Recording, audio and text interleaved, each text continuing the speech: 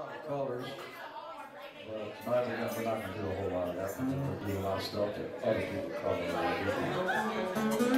We just do all kinds of stuff. Now, you know, uh, there's been a whole bunch of pickers in here tonight. And you know, music is a harsh, harsh mistress to dampen, especially when it comes to relationships. yeah, you, you, tell me guys, do these words seem familiar to you? I want you to leave and I never want to see you again as long as I live. Oh, he just bullshit. No, I'm not. he can't do without me. He No, no, no. loves me. We got married. Yeah, the last time she told me that, the last time she told me that, my reply was, does that mean you're not going to sleep with me? I said, hell no. There's a little song about what it's like when your woman tells you she don't want you around anymore.